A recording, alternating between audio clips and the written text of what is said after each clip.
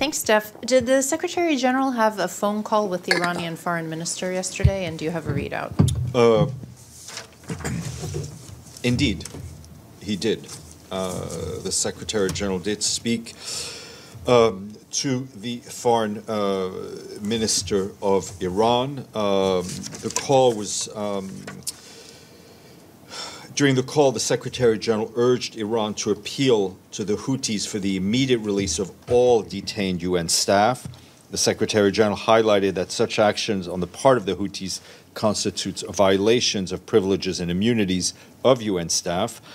He called for all detained to be released, highlighting how such continued actions by the Houthis is detrimental to the UN's work in Yemen for the people of Yemen, which benefits the suffering Yemeni population's vast current needs.